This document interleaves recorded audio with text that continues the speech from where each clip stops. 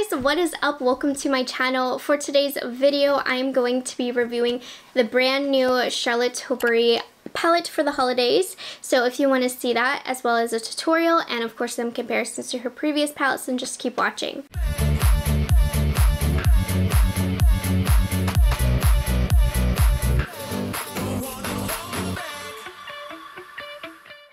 Hi guys, if you're new here, my name is Morgan. I am a product knowledge enthusiast. I just love knowing anything and everything about all of the new makeup on the market and sharing my thoughts with you guys. And I'm really excited for today's video because this is one of those holiday launches that I look forward to most every year. I believe this is what the fourth or fifth consecutive year that Charlotte Tilbury has launched her Instant Eye palette. This year's theme is a smoky eyes are forever. I of course had to pick it up. I have all but the very first one that came out to show and compare for you guys today. If you're new here, I do consider myself to be pretty well versed in Charlotte Tilbury. I've tried the majority of her line and I've been collecting her eyeshadows for years, so I'm very familiar with her formula, what's going to hit, what's not. This video is a first impressions. I have not put it on my eyes yet, so make sure you stay subscribed to my channel where of course I will update you on my thoughts on the palette as I use it more. But again, like I said, I feel pretty confident doing a first impressions on this just considering how familiar I am with her formula. That being said, let's dive in. This is the Smoky Eyes Are Forever palette. Now, when I ordered for the 48 hour early access. They did have a special bundle where you got a free blending brush. I don't know if they'll have that again, but I think once it actually launches, it's just going to be the palette. It is going to cost you $75. It is going to be available September 23rd if you didn't get your hands on it for that 48 hour early access promotion that they do with all of her launches, which is perfect because then you guys can check the reviews and see if it's actually going to be worth it for you or not. Normally, I doesn't I don't think it specifies it at the current moment at the website. They say that these are limited edition, but I will say the one from last year is still available, so I don't think there's this urgent need for you to buy it as soon as it launches. But let's take a closer look at the packaging here. The box is super cute. I love the black and gold. On the box it says that this palette has an 18 month shelf life and is made in Italy. Love to see it. Now the packaging itself is a lot more simple. It's just a plain black. Black is fine and this is me being really nitpicky, but I would have liked to have seen a little bit more cutesiness than rather than just black. Like I wish it matched the box more and played with more of that black and gold because Charlotte Tilbury's brand color is gold. That's what all her packaging is. But anyways, that's me being nitpicky, but not my favorite when you compare it to like this one from last year and then the year prior. This one, like this is kind of boring, y'all. Can't lie. And then on the back here, it's going to give you some information on how to use each of the looks. So the first shade in line, you're going to prime. The second, you're going to enhance. And third, you're going to smoke. She does this with all of her instant look palettes and as well as her quads. Maybe not that exact configuration, but she likes to advise you on how to use her palette and what looks she intended you to create with them. Of course, you're not limited. You can do whatever you want, but I really like that there is that option. So how these palettes work, they do have a nice mirror and they're going to stay up on their own, which is really nice. It's not going to fall. And then here we have our 12 eyeshadow shades. Now how she organizes them in these instant eye palettes. You have one look here. Remember, one, two, three is the order that is suggested to apply them. The love eyes, the power eyes is a look, the happy eyes, and the confident eyes. And most of the time you will find that they are kind of monochromatic. They're going to go with each other. And I just think it makes it so much easier if you are running late in the morning to just pick a trio that you know is going to look good. You don't have to think about it. And then days where you're feeling fancier, you have a little bit of extra time, of course, do whatever you want with it. I like that. I used to not like that at first, but it really has grown on me and has become very, very useful. Now, this palette in particular is not very heavy in the mattes, as I feel like her palettes normally are. There are five pure true matte shades and seven either shimmer or metallic shades. Now one thing that I noticed from this palette, I think one of the formulas has changed a little bit. It's gonna be like this shade and this shade right here and I believe there's another one, probably, yeah, this one. Um, they're like her lid topper or pop shades, but they look like they'd be really creamy. In her previous palettes, the shades that had this finish and look in the pan were really wet feeling, almost like a cream eyeshadow. These are almost very powdery. They're like a slip slippery powder. It's still really beautiful and you get a lot of impact, but I just noticed I haven't felt a formula quite so powdery and dry like this, and that's normally comes with a negative connotation of eyeshadows, but it's not in this case. It looks really pretty and textured, almost like more of a lid toppery kind of formula. It's just different than what I've experienced from Charlotte Tilbury. Normally shades that look like those tend to have a wet, heavy, creamy feeling, and there are shades in this palette that do have that. Like this shade right here is that wet, creamy, thick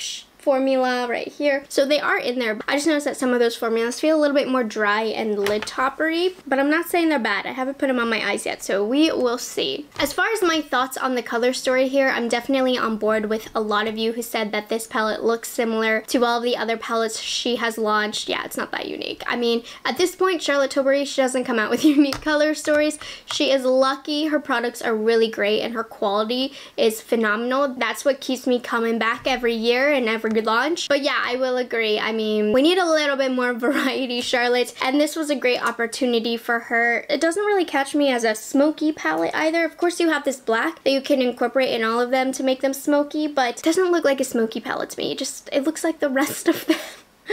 Anyways, I will talk more about that when we get into the comparison portion of the video. Let's just go into the standalone quality. I'm gonna get a little bit closer. So normally for my tutorials, I like to do one eye off camera so that I can collect my thoughts and come back to you and let you know, but because there's 12 shades and these essentially kind of create different looks, I'm just gonna do two separate looks on my eyes. It's the best way for me to really test out all of the shadows and the formulas. So I'm just using a little bit of my Hourglass concealer. We are going to do this eye first. So first things first, I'm going to go into this cream matte shade in the Love Eyes Trio. I'm just using an Alamar Cosmetics blending brush. I'm gonna concentrate the color underneath the brow bone bone because that's where I want the highlights. And then with whatever is left, I'm to kind of set the eyelid. Love that there's a cream shade in here. So next I'm going to take from Power Eyes this light khaki gray shade. This looks really beautiful. We're not going to do anything crazy with our looks as I normally don't in my reviews just so that I can really test the formulation in a style that I'm very familiar with. I mean this shade is very very pretty.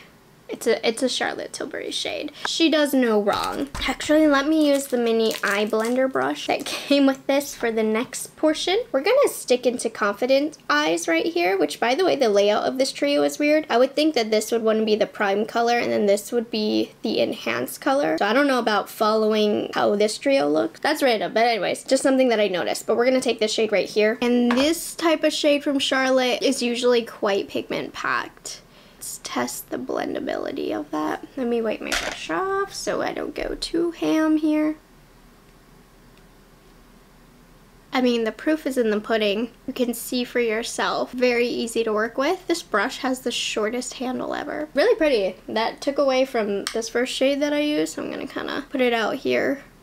Next, also from the Confidence Eyes trio, we're going to take this kind of pinky mauve shade right here. This is the one where I said it felt a little bit drier than a formula that I'm used to from Charlotte. And you can see right there, it is more powdery. There was a little bit of pickup. I'm sure I'd get some kickback if I didn't tap off my brush. But it looks beautiful on the eyelid and it's still applying with a brush just fine. Let me try it with a finger. I did get a little bit of fallout right here pretty. It's a little bit softer than I wanted. I thought it would be a little bit more metallic. It's still very pretty though. Then next I'm going to go into Love Eyes right here at this middle shade, which is similar to this one, but this one is that creamy consistency. So it should give us a little bit more. Yeah, you see, that gave me more. I prefer this formula. It's more metallic, it's a little bit less messy. Very pretty, like a pinky brown kind of eye that we have going on. And then also from the Love Eyes Trio, we're gonna take this shade. And this one is more of that powdery formula that's similar to that first color that we used on the lid. But very pretty. I'm using a really concentrated brush, which is Rephr number 23. So it gave me a little bit more metallicness, which I like. For the purpose of testing this palette out. Let's use this shade right here from Power Eyes. This is going to be one of the creamier shimmer shades. It's not quite metallic, but it has that creamy feeling to it. Let's run this on the outer half of the lower lash line. Again, like I said, this is more so for the purpose of testing. That's very pretty. This is very nice quality. I'm going to wipe off my brush and we're going to go into the black. Let's see how the black behaves. I'm going to start off with that in the outer third of my lower lash line. Oof, that's very pigmented. I definitely expected that from Charlotte Tilbury though. Her mattes tend to be quite intense. And then I'm using a Rephr 14 brush just so that it's not quite as dense blend that to create a smoky eye. So if you're grabbing this palette to get a smoky eye, this black is going to do it for you. You only need just a little bit to add that smoke out here. Black is awesome. Really nice quality. Okay, final step, I'm gonna go back into this shade. We're just gonna put it right in the inner third. And actually this shade right here we're gonna use because I haven't used it yet. This is a creamier shade. It's not the dry shade. So the dry shade is right here, right here, and right here. Like dry, you know what I mean? Doesn't mean it's bad, it's just a different formula. That's really pretty. Okay, this is a neat look. I like this look and so far really nice quality. Let's go to the other eye and let's play a little bit more around with the shades that I have not yet used, which for the most part, it looks like it's gonna be the Happy Eyes trio. We're gonna create a, something a little bit more warm. Let's do this look, how she envisions us to use it. So we're gonna start off with Happy Eyes. This is gonna be interesting because this is the powdery formula. I don't know how this is gonna look in the crease and it's very shiny. Now Charlotte Tilbury's formula typically works really well in the crease even if it's a shimmer so that's why I'm trusting her on this but this has a lot of glitters in it. in this case I'm not too sure about how much we want to follow her directions because this shade carries glitter. It's holding down well on the eyelid. I do have a little bit of glitter particles so don't apply this type of formula all over the crease if you're not ready to have a little bit of glitter fall out. Like it looks pretty. This shade is really gorgeous dispersed all over the lid, but it's still bit glittery. But that's okay. We're gonna enhance the eyes now with this middle shade, which is a very creamy shade. I'm just using my fingers. Now, Charlotte Tilbury is known for giving you that glowy eye look, so that's why she puts shimmers in the crease and says it's okay, because that's what she's known for. Glowy eye, and my friends, this is glowy. and then we're gonna finish with the smoke shade, which is this kind of reddish shade ended up working better than I thought. Like all three did pull together really pretty, did they not? Just with that touch of the matte in the crease, that's gorgeous. I actually really like this look. Interesting, I, I still not sure about the crease shade, but in the crease, it's a gorgeous look. Gorgeous, gorgeous quality. Like I like this look better than this look. Let's add a little bit of the black. This is the Smoky Eyes Are Forever palette after all. And then because the greens are not getting their moment, we're just going to put this guy on the inner half, creating kind of a dual toned look. We'll have the darker shade out here. I like that. The khaki's kind of fun pop. And then let's add some black to pull the two sides together. I believe it's from that first shade we put on the eyes, but I have so much fallout and it's glittery fallout. It's sweeping right away, just something to keep in mind. And I did tap my brush off. So here are the two looks. I'm going to put on the rest of my face and then I will show you the final look. Okay, so before I go into my comparisons and final thoughts, I do just want to show you the completed look. So this one is really pretty. I love the pinky uh, smoky eye. And then, of course, this warm look is really beautiful. I added the green to the bottom just because those needed some love too, but love the looks. Anyways, let's get into something very serious. Comparisons. Now, like I said before, I've collected quite a lot of Charlotte Tilbury palettes, and a big talking point on this new release was that it's how similar it is to all of her other eyeshadows. So I'm going to compare a few of the close ones. So up top right here, we have the Eyes Are Forever. Right here at the bottom, I'm gonna put last year's Bejeweled Eyes to Hypnotize. And when I saw these, I really didn't think they were that similar. Of course, you know, in those neutral transitional shades, there are similarities, of course, but those are just necessary shades. So I swatched them side by side so you could see the difference. So on this arm, I have the new Forever Smoky palette. And on this side, I have the Bejeweled Eyes to Hypnotize compared to the colors that I thought were the closest. So, I mean, there's a good, what do I have, eight shades that are similar and you can be the judge of how close you think that they are. But I mean, there's a number of shades that really are close. We didn't have the green family really in that palette or the black right here. But honestly, they were a little bit closer than I thought they were going to be. Now, I think one of the standout colors to this palette is the greens and that's definitely not in last year so that might be the selling point for you. But as far as the warm tones if you're buying the new palette for the warm tones and you have last year's they're in last year's I would say for the most part. Now this one is the juicy one. So this is the holiday palette from two years ago. So the top is the new one bottom one is the starry eyes to hypnotize. And I mean you have a green trio you have a warm base trio you have a black to create that smoke smoky eye. You don't have a pinky trio really like this, but you could argue it's kind of in between these two. Anyways, these are the ones that I knew you guys really wanted to see compared, and it's very interesting. Honestly, taking a look, I almost feel like this uh, this palette should have been the Smoky Eyes palette. I don't know. But right here, I have the Smoky Eyes Are Forever, and right here are the close shades that I could find in the Starry Eyes to Hypnotize, and they're super close, you guys. Obviously, there's slight differences between the the colors and you can decide if it's going to be worth it for you. They're very, very, very, very, very close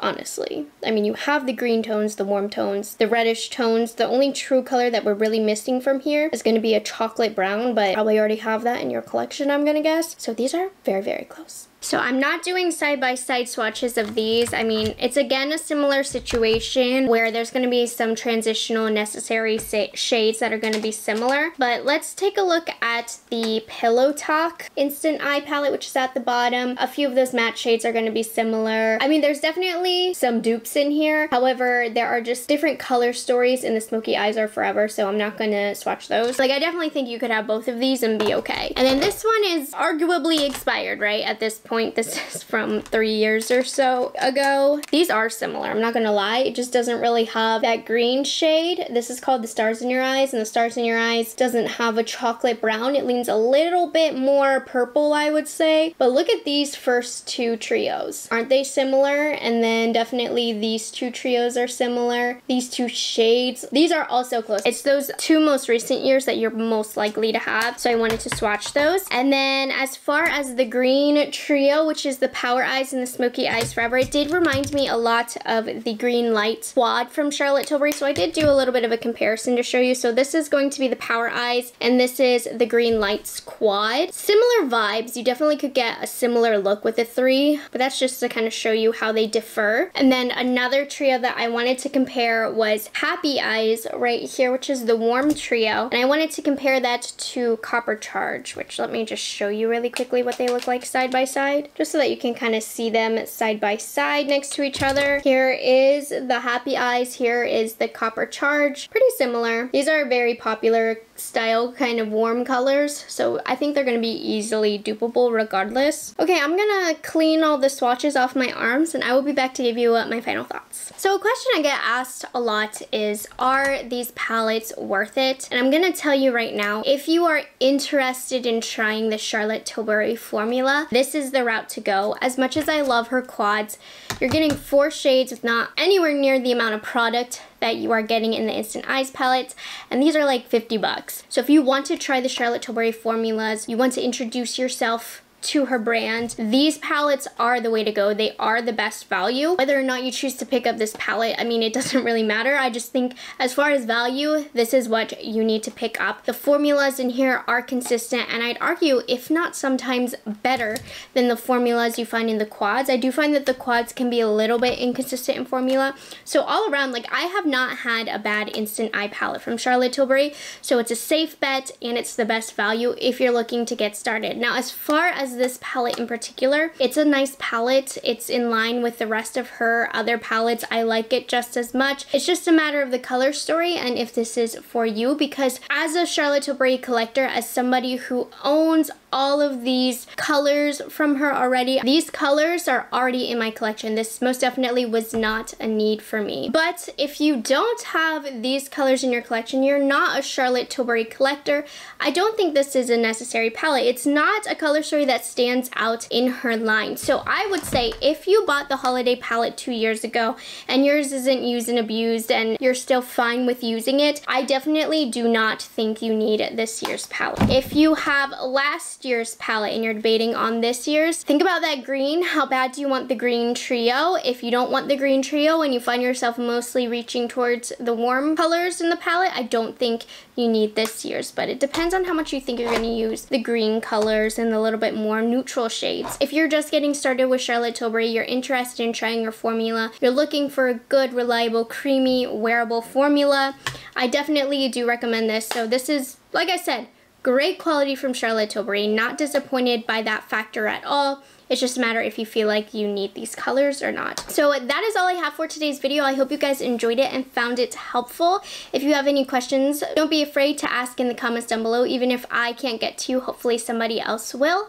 Thank you guys so much for being subscribed to my channel and for your continuous support. It does not go unnoticed. And thank you for liking this video. That's all I have for now. I will see you guys in the next one. Bye guys, have a good one.